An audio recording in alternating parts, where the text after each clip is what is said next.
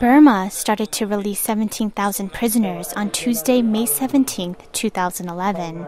Some of the prisoners that will be released are political captives. Burma has more than 2,000 political detainees in jail.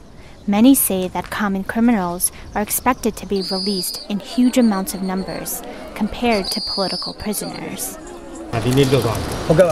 Prisoners will be released from prison around the country. Some former intelligence personnel will also be free.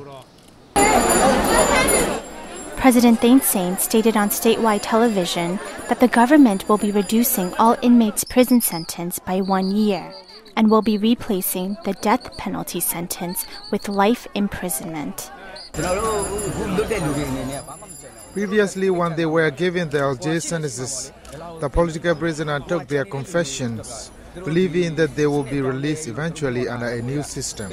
However, when this new body came out of a one year jail reduction, it broke the hearts of the prisoners. They don't know what to do. Vijay Nambiar, the United Nations envoy to Burma, visited the country last week and called for the release of political prisoners. He said that the country's human rights progress depended upon the release of political captives.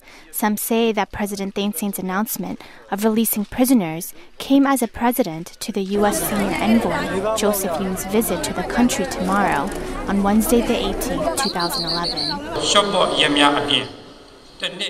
The announcement also came in very timely to President Obama's notice of renewing sanctions on Burma for its human rights record. For Voice of America, I'm Kaye Lin.